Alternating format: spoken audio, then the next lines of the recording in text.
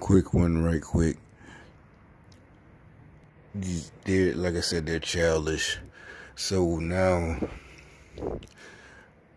I, I I'm t- with, with, we're gonna see like y'all gonna be like, well, you always call them losers. That's the same thing. You know what I'm trying to, what I'm trying to say is that it's gonna be a I won type of thing.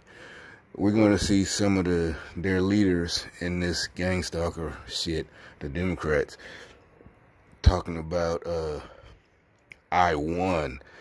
See what I'm saying? Not they're not gonna try to, you know, uh, play it off like, uh, oh, this is y'all turned this country into winners and losers, and you making these people, you know, basically like they were saying, uh, like an '80s movie, like they were playing victim, like that, you know, we're like the jocks and they're the nerds who have to overcome and and you know like they're being oppressed, winners and losers.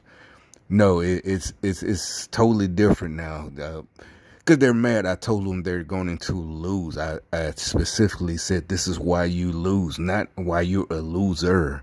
Cause you can call a winner a loser. Literally, you can. You know, it's, it's just matter of opinion. But what I said was more a statement. You're going to lose. That's why you never win. This is totally different than saying you're a loser. Losers, you know, that's that's nothing. You know, you let that shit roll, but you know, roll off your back, like war off a duck's back. But saying they, they, like I said, they're childish. They got to come up and rise to the occasion. They're, they're this is, this is, uh, trust me, this is, this is gonna be some shit. I, you know, I told them, and it's a fact. As I'm saying, I, I'm saying this is a fact. They're never going to win. That's why you always lose. Let's let's see how this go out.